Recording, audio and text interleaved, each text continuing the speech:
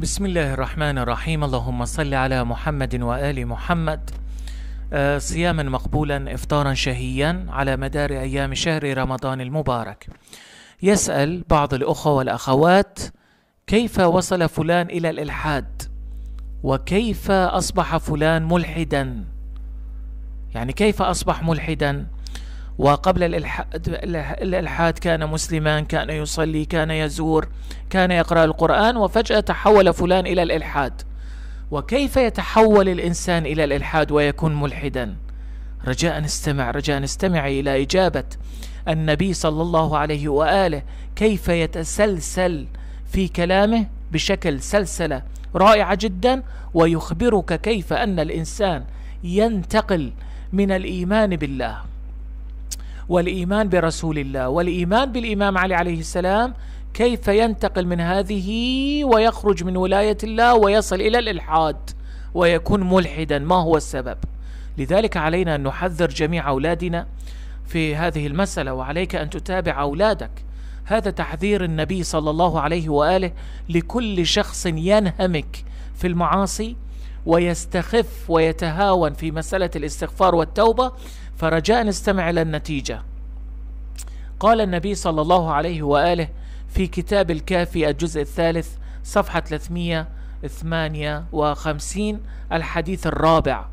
قال النبي صلى الله عليه وآله يا عباد الله احذروا الانهماك في المعاصي والتهاون بها فإن المعاصي تستولي على صاحبها حتى توقعه بما هو أعظم منها. احذر الانهماك في المعاصي. 24 ساعة أنت تعصي الله وتستخف في مسألة التوبة. تتهاون في الاستغفار والرجوع إلى الله. يقول فإن المعاصي هذه تستولي على صاحبها حتى توقعه بما هو أعظم منها. فلا يزال يعصي ويتهاون ويخذل ويوقع نفسه فيما هو أعظم مما جنى حتى توقعه المعاصي في رد ولاية وصي رسول الله علي بن أبي طالب. الإنسان يستمر في المعصية وإذا بهذه المعاصي تستولي عليه وتخرجه مرتدا عن ولاية وصي رسول الله علي بن أبي طالب ثم تدفع نبوة نبي الله محمد. ولا يزال أيضا بذلك حتى توقعه المعاصي في دفع توحيد الله والإلحاد في دين الله. هذه المعاصي تجري تجري تجري من دون استغفار من دون توبة من دون بكاء. فأول شيء يسلب منك تسلبه منك المعاصي هي ولاية علي بن أبي طالب عليه السلام. ثم بعد ذلك تدفع عنك النبوة. ثم بعد ذلك تدفع عنك التوحيد وتصبح ملحدا. فإذا ما رأيت جارك ملحدا رأيت أحدا من أهلك ملحدا. إذا رأيت أي أحد وسمعت بأي أحد بأنه أصبح ملحدا فاعلم أنه هذه النتيجة كانت. البداية هي الانهماك في المعاصي والتهاون في مسألة الاستغفار حتى استولى استولت المعاصي على عليه وأوقعته بما هو أعظم منه. أخرجته من الولاية ثم دفعت عنه النبوة ثم أوقعته في دفع توحيد الله ثم أصبح ملحدا.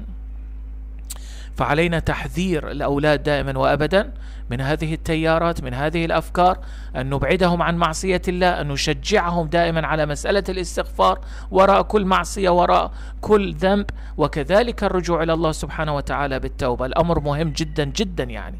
هسه إذا عرفنا الآن أصبح الأمر واضحا. إذا رأيت فلان ملحدا الآن أصبح الأمر لديك واضح كيف أصبح ملحدا؟ ولماذا هو أصبح ملحدا؟ وتقول بأن فلان كان جيدا وكان مؤمنا وكان مصليا وكان كذا كذا النبي صلى الله عليه وآله أوضح ذلك بعبارة واضحة لأنه كان منهمكا في المعاصي ويتهاون بالتوبة والاستغفار والرجوع إلى الله عز وجل. برنامج صباحات ولائية أمين محمد خادم في مرقد الحسين بن علي عليهما السلام.